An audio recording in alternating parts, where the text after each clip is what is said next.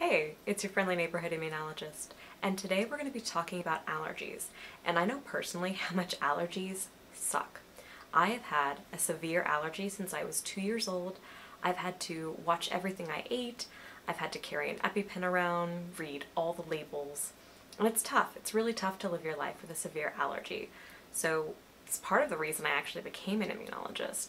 And what I want to draw for you today is how your body can form an allergy against something harmless like a food like peanut or sesame and then I'm going to show you which immune cells are involved and then in a separate video I'm going to show you how allergy shots work or at least how they're meant to work in an ideal situation. So let's get started. Alright, so allergies actually start with a macrophage. You might not have expected that.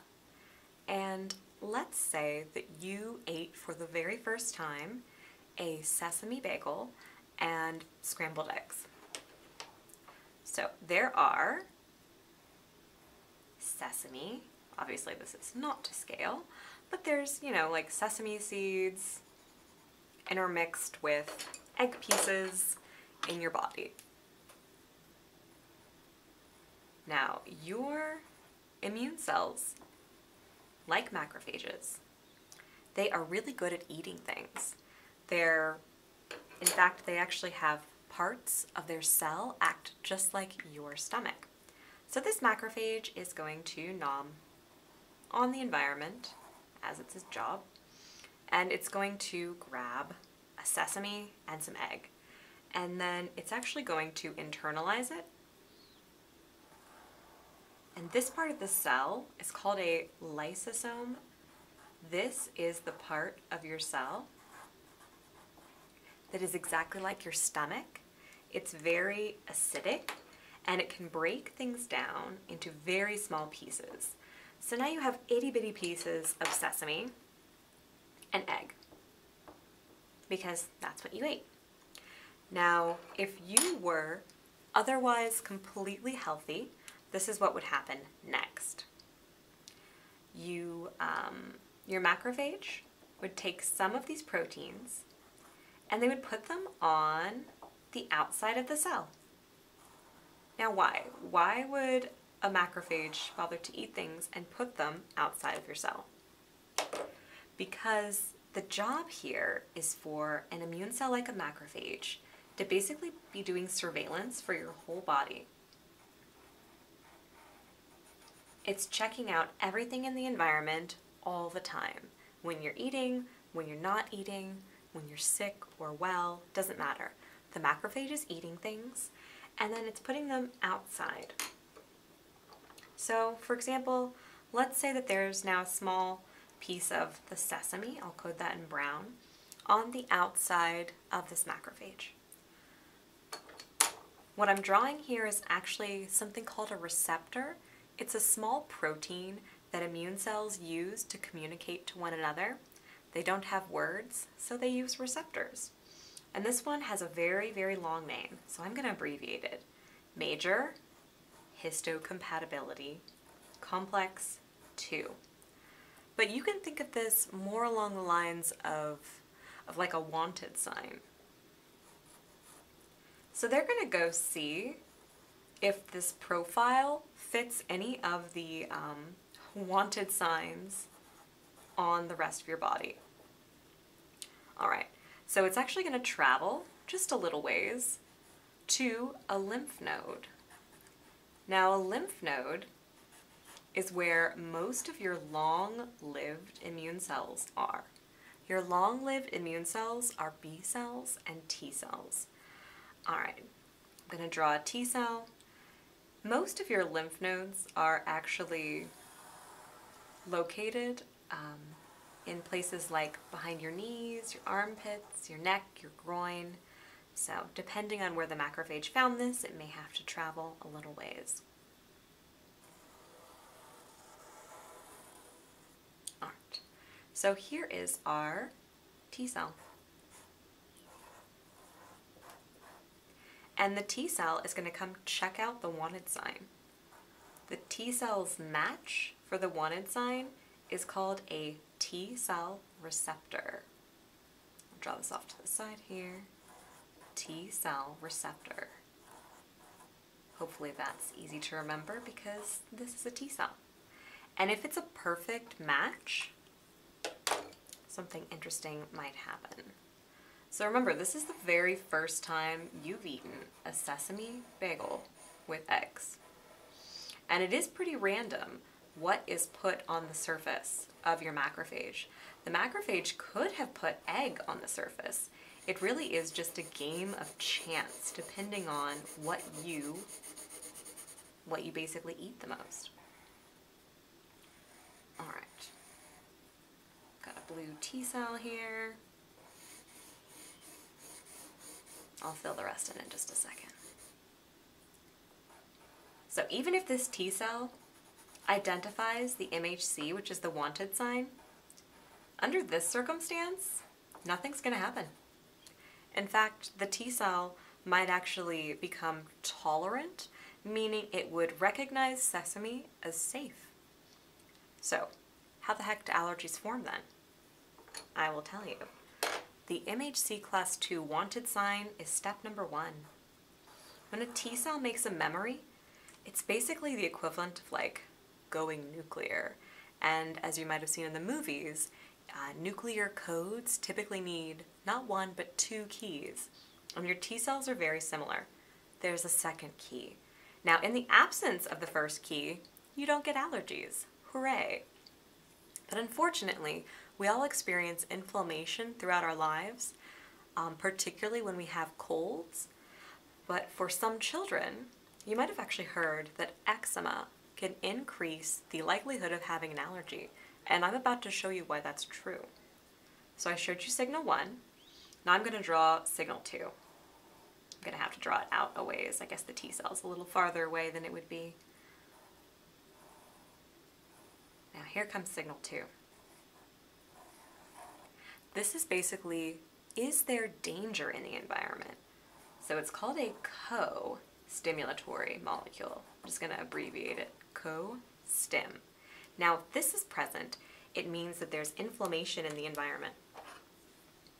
If a person has eczema, that is inflammation. The reason their skin is all red and puffy is because there's inflammation there produced by immune cells. So, in this case, now, let's say this particular person eats the sesame bagel, and now the T cell is a match for the sesame, and the co-stimulatory signal is there. And now, you're going to have an allergy. It's rather unfortunate. Um, uh, yeah, I found out that I had my allergy when I was about two years old, and I have had to watch everything I've eaten. I typically have a mistake every you know, two to three times a year when I was young. And now that I'm older, um, I typically only have mistakes every three to four years, which is much better. And you'll see why each time you have um, encountered whatever you're allergic to, why it feels worse and worse every time. All right, so the T cell has a pretty amazing power of activating the other, um, the other adaptive immune cell in your body, called the B cell. So here we go. The T cell is going to activate the B cell. They're actually basically neighbors in the lymph node. Um, we were designed rather uh, beautifully in that way. So the B cell is actually right next door. They're like literally just in adjacent neighborhoods in the lymph node. Now the B cell you might have seen this if you've been looking at anything to do with uh, vaccines or antibodies. They're these little Y-shaped proteins. Now they're often drawn on the B cell, but the B cell can also release these into the environment, be it blood or tissue, and they can travel all over your body. Okay, so here is our B cell. Now, this B cell is going to be specific for sesame, which means that anytime it makes an antibody, the antibody is going to be a match for the sesame that you ate. And this B cell, unfortunately, B cells actually have a very long lifespan. A macrophage might live for about 20 days, but a B cell A B cell can last for, on the short side, a year, and on the long side, 20 to 30 years, depending on how many times you encounter your antigen. So if you happen to eat sesame a lot on accident, then you would have a ton of B cells and antibodies. Whereas if you discovered your allergy and abstained, you would actually probably have less antibodies over time. All right, so the B cell is going to make one specific type of antibody. It's called IgE, and it stands for immunoglobulin, and the E actually represents Greek letters. But that's not the important point. The important point is that these antibodies, they're the whole cause of, of allergies. So you really have to have a little bit of bad luck. You have to have inflammation in the form of the co-stimulatory molecule, like those poor children with eczema, that lead to T cell activation. Now, the T cells do have to have a certain recipe here. There's some small molecules that can cause the B cell to turn into the type. There's actually five different types of antibodies, and IgE is the one associated with allergy. And in fact, this will come up in the next drawing that I do for you because you're going to see allergy shots working here and uh, here as well. Okay, so now the main cell that causes all the trouble, the mast cell. Now the mast cell without B cells doesn't really do much, doesn't really look like much. But it is completely full. If you could look at it under a microscope, it looks grainy because it contains so many tiny particles of histamine. And histamine is what causes all of those sneezing, it causes your blood vessels to open up and bring in more fluid. It causes immune cells to enter and produce inflammation. Um, it can even lower your blood pressure, which is why some people faint after having a really bad anaphylactic allergy response. All right, so here we have our mast cell.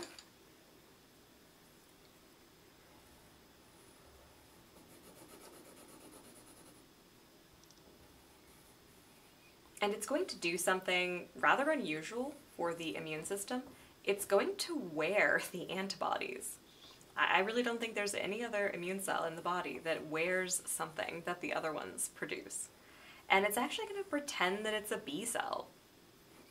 So the reason this whole allergy process takes a long time, and the reason you don't have a bad allergy response from the get-go, is because a macrophage eating a particle breaking it down, traveling to a lymph node, telling a T cell to tell a B cell to make an IgE antibody. All that takes approximately two weeks. So these granules of histamine aren't ready to go for at least that period of time.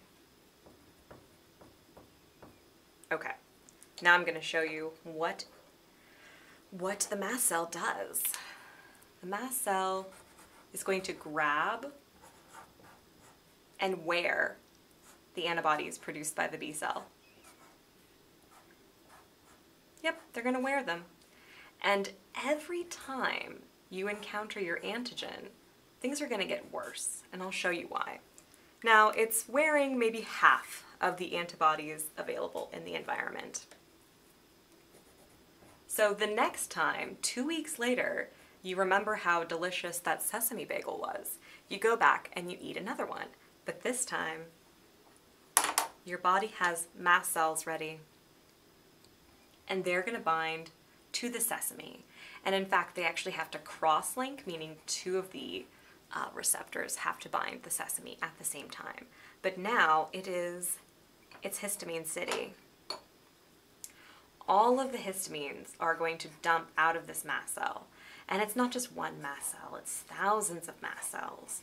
And usually they're located in your mouth or in your intestine, which is why you immediately feel so unwell and why people with anaphylactic allergies feel that, that terrible itchy, throat tightening, like you just drink acid kind of feeling. All right, so histamine right here.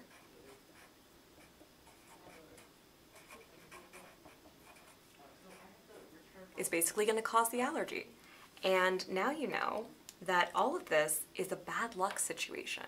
Basically, the macrophage eats something on any other day, on any other day without inflammation, nothing happens. But during periods of inflammation, like colds or eczema, the whole immune system, the T cells, the B cells get activated, which can then promote the mast cell to wear these antibodies. So every time you eat that sesame bagel, there's more.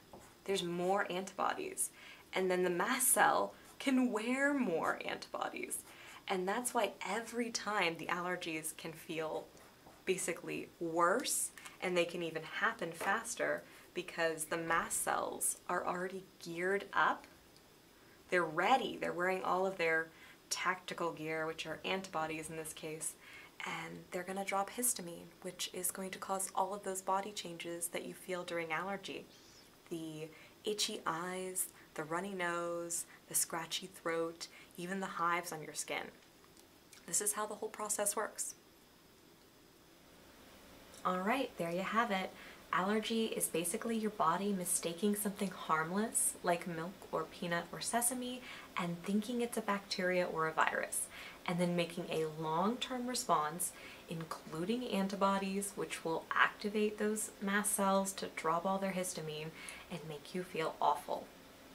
So if you want to know more about allergy, specifically how allergy shots work, I'll have a video up for that next week.